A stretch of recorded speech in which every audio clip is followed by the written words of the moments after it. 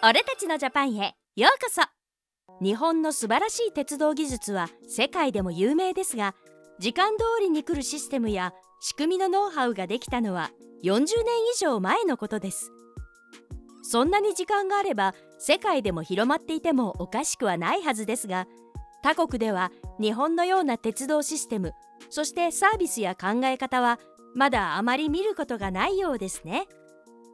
もちろん日本に追いつこうとしている国はいくつもあるはずなのですが今回はあるスペイン人の男性が中国の地下鉄に乗った時にとんでもない体験をします。日本であれば考えられないことですがそれが原因でいくつもの事故が起こっている事実も発覚することに。アジアなら日本も中国と同じと考える彼ですが日本にしぶしぶ来る羽目に。そこで彼は中国と日本の決定的な差に気づくことになります。彼が日本で感じたものは一体何なのでしょうか。ぜひ最後までご覧ください。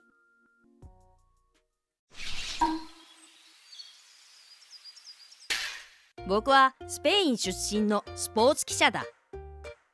スポーツの大会に参加するあらゆる分野のスペインの選手たちを追いかけている。これは僕がまだ仕事を始めた7年くらい前の話でね。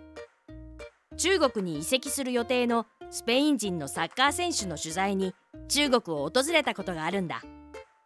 北京で他の記者たちと合同で取材する予定で僕は早めに地下鉄で約束の会場に向かうことにした。中国はスペイン人の僕らから見ても治安が悪そうな雰囲気でスリに気をつけないといけない。スペインの有名な観光地バルセロナでは割と多いんだ。その土地で外見が珍しいやつほど狙われるからね。北京は中国の首都だしカモにされる可能性もある。でも新人といっても僕は記者だし人混みにもすり対策にも慣れている。だからさ中国の電車や街中でも問題なく過ごせると思っていたんだ。だけど本当に気をつけないといけないのは人じゃなくって鉄道ということに気づかなかったよ。すごい人の多さに囲まれたまま電車に乗ったんだけど僕から少し離れたところで悲鳴に近い声が聞こえたんだ。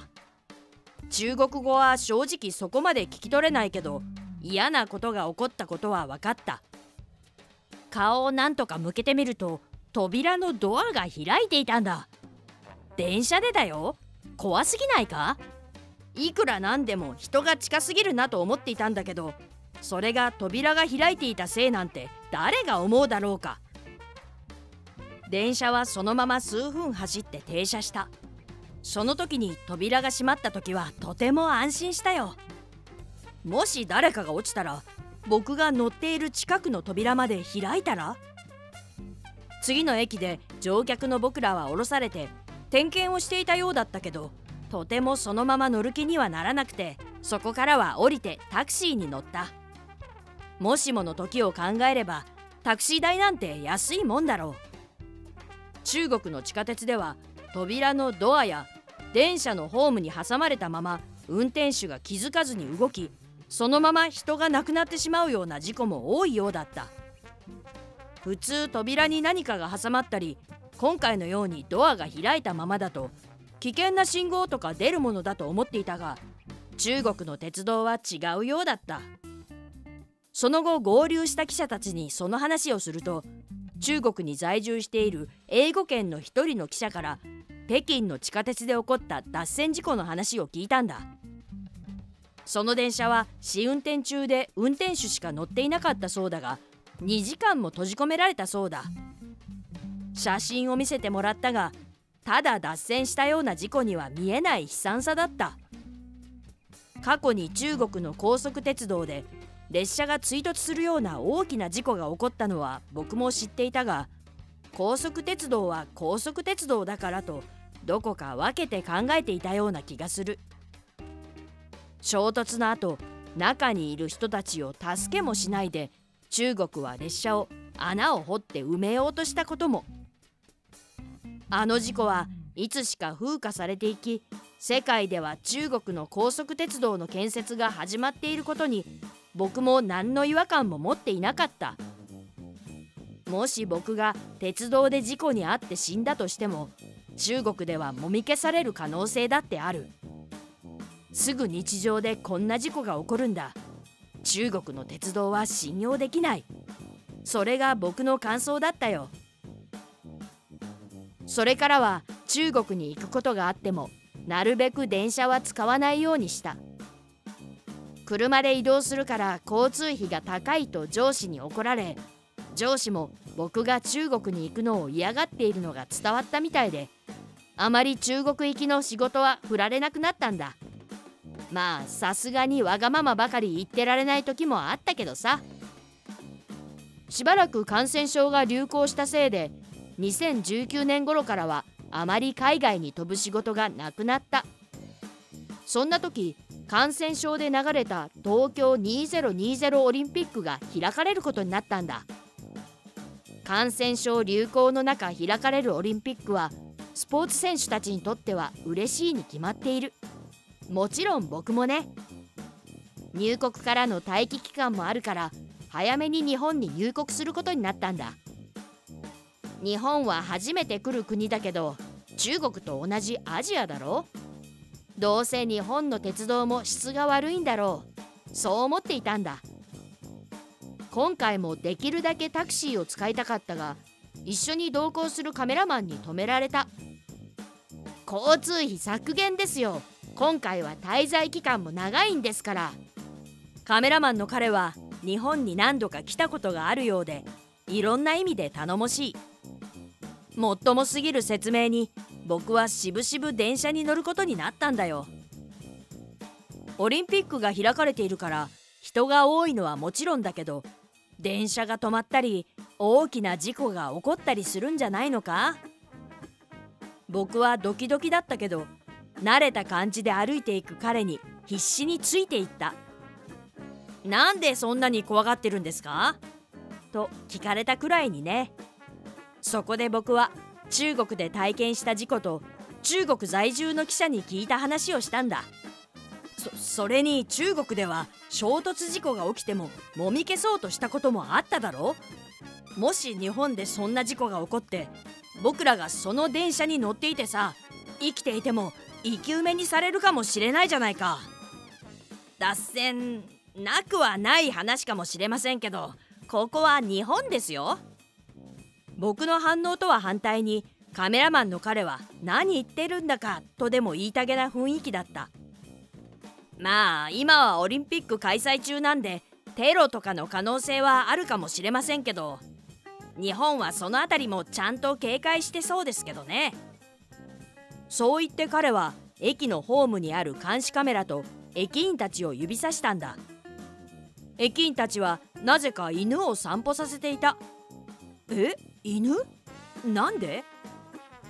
どうやら駅員たちが連れている犬は危険物を探知する訓練を受けた犬らしい。問題があったとしてもすぐ助けてくれますよ。テロでも事故でも。いや事故が起こってからじゃ遅くないか？と言っている間に電車が来て僕は電車に乗らされた。大丈夫だろうか？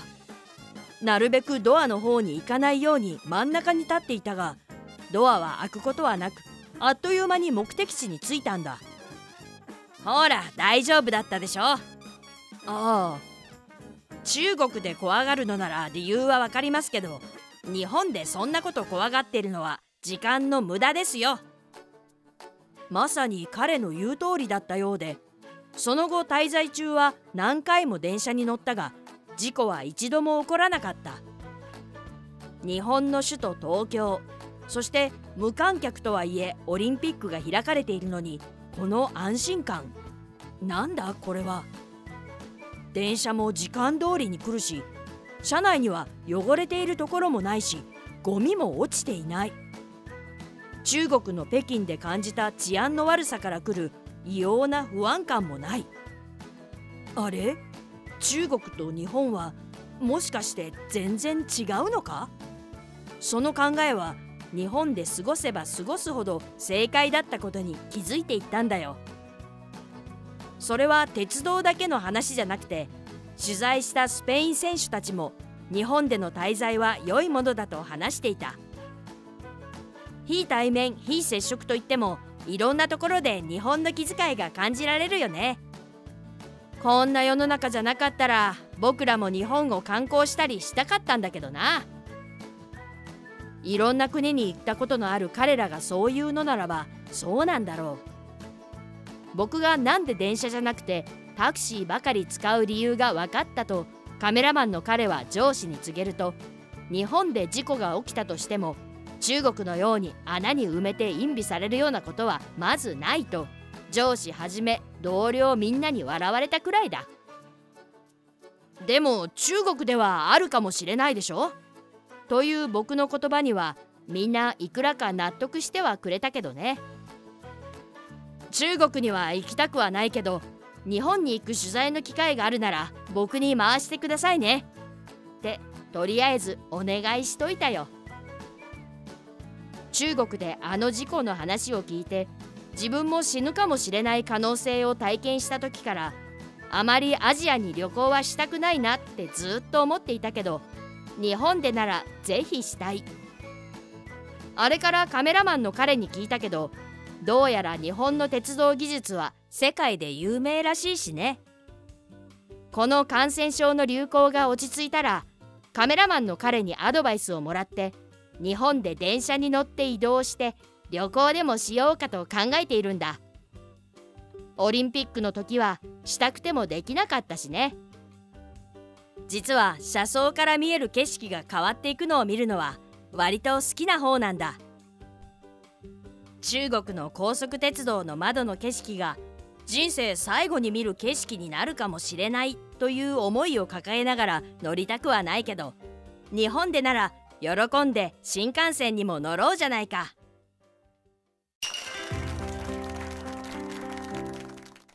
僕も中国の鉄道事故の映像を見たことがあるよ。まだ人が中にいる状態で列車を転がしている光景は信じられなかったな。周りに大勢の人がいて誰も止めないんだもんね。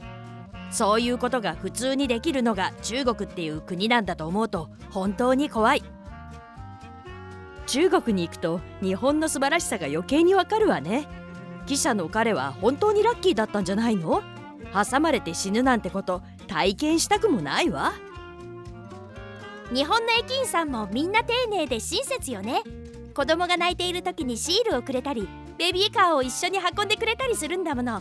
日本人が優しいってことがよくわかるわ。中国って確かドアが開いてる状態で走ることは絶対ないってニュースか何かでドヤ顔で話してなかった？本当に嘘ばっかりつくのね。こんな事故が実は何件もあるんじゃないかと思うと恐ろしすぎるわ。私は中国で暮らしてるけど人が多い時は地下鉄なんか乗るもんじゃないわ。危なすぎるもの。空気は汚いし常に人ばっかり。酸欠で死んじゃうかもって何度思ったか。降りる人が先っていう当たり前のルールも守られることなんてないし人が多すぎて降りられない時もあるわよ。日本の技術を真似するのは誰でもできるかもしれません。でも真似だけで本物と同じにはできないのが日本人の心と考え方働き方なのではないでしょうか。中国と日本では鉄道技術における真剣さそして誰かの命を預かっているという事実に対しての考え方の次元がまるで違うのです。日本の鉄道の素晴らしさは事故を起こさない。起こったとしても繰り返さない。そして防げる問題は未然に防ぐ。この考え方に基づいて作られているからなのかもしれません。中国がその事実に気づくのは一体いつになることやら。中国製の鉄道がどんどん増えて世界が便利になったとしてもスペイン人の彼のように乗りたくないという人が出てきてしまいそうな気がしますね。東京メトロのダイヤは5秒単位で作成されているそうで運転士は特別なトレーニングを受けスピードメーターを見なくても求められている時間で電車を走らせることができるようです。これは実は他国で同じことを求めるとストライキが起きてしまう可能性があるくらいの高度の技術なんだとか。ですが日本に住んでいて鉄道会社員たちのストライキを体験したことはないのではないでしょうか。日本の鉄道を動かすプロの運転士たちによって私たちの生活が安定していることも忘れてはいけませんね。それでは最後までご視聴くださいましてありがとうございました。もしよろしければ皆さんのご意見や感想をコメント欄へお寄せください。またよかったら高評価ボタンシェアしていただけると嬉しいです。それでは次回の動画をお待ちください。